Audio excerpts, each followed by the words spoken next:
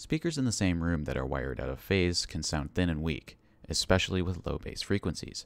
Speakers connected correctly will have the positive terminal on the amplifier connected to the positive terminal on the speaker, and the negative terminal on the amplifier connected to the negative terminal on the speaker.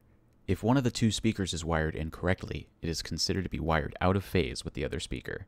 As the drivers in one speaker are pushing out, drivers in the other speaker are pulling in. The result is that the sound waves from both speakers can cancel each other. Note that incorrect connections can occur either at the amplifier or at the speaker. Also, only one of the two speakers needs to be wired out of phase to impact the sound in the room. When both speakers are wired incorrectly, they're actually still in phase with each other. If you suspect your speakers are wired out of phase, there's a simple way to test and fix this issue.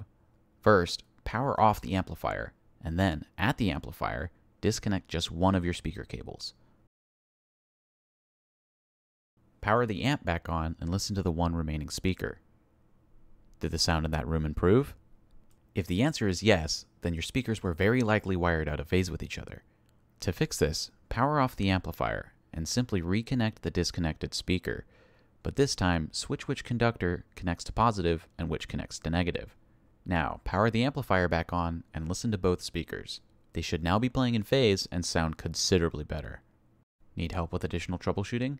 Head to htd.com where we have a blog full of useful information. Thanks for watching.